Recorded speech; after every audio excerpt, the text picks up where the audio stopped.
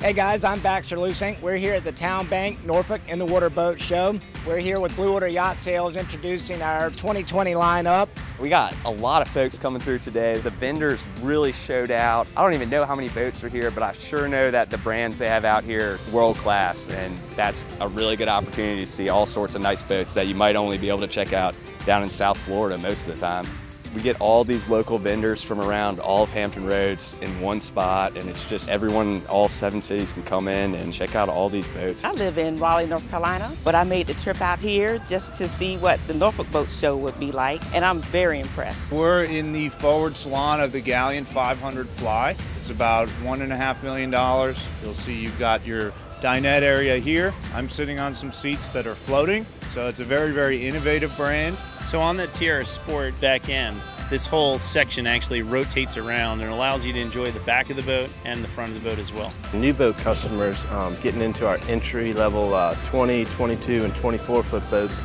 Great for cruising around down here in Virginia Beach and Norfolk, going to the sandbars, hanging out with family and friends, or just going offshore and catching a big fish.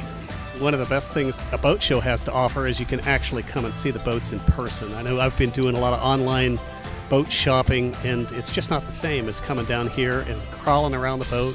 Things that you can see in person that you really can't see uh, online shopping, I think is one of the main reasons to come out here and check out a boat show like this. Anything that you need for banking, insurance, investments, we can help you with that.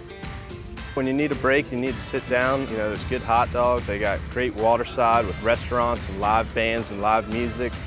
I think for me, I think it would be awesome to wake up with the sun coming up above the, the water line, being able to, you know, Saturday morning, where do you want to go? I don't know, let's go down to Hatteras. If you live in Norfolk, you can be over on the eastern shore within an hour on one of these boats and spend the night on it, maybe have a little family adventure. So that's kind of what has drawn me down here, and I'm looking at those kind of boats. But they've got all kinds of boats here fishing boats, ski boats, they've got motor yachts that are pretty big, a wide variety down here today the TowneBank Norfolk In Water Boat Show. Yeah, Norfolk Boat Show 2019. Norfolk Boat Show